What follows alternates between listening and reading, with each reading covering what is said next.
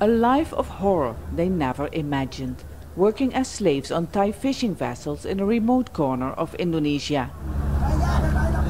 They suffered in silence for many years until a team from the Fisheries Ministry in Jakarta came to investigate claims of human trafficking and slavery.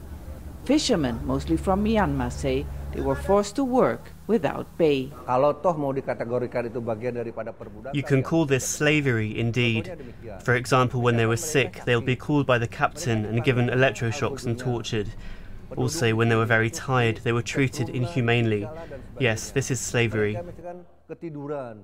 These men say they were sold to the fishing company by an agent from Thailand who promised them a job in a restaurant. Instead, they ended up far from home. They managed to escape and are now hiding. Maybe some people on the boats wanted to be there, but not me and not many others. They told me to just accept my situation, but I couldn't. I wanted to go home so badly.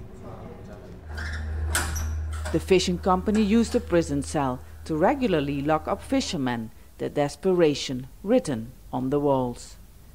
For sure I will get home one day, someone writes. If there's a way in, there should be a way out. And their way out has finally come.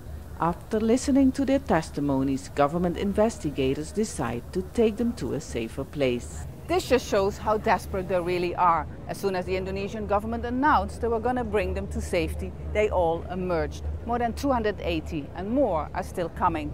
They're leaving a life they recall as full of fear and horror, and they're going to a life of uncertainty. But most importantly, they're going home. These victims of human trafficking are only a small group of fishermen stuck in Indonesia. And while Kiat Yehelin is excited to finally go home after four years, the fate of many others hangs in the balance. Step Vaessen, Al Jazeera, Benjina, East Indonesia.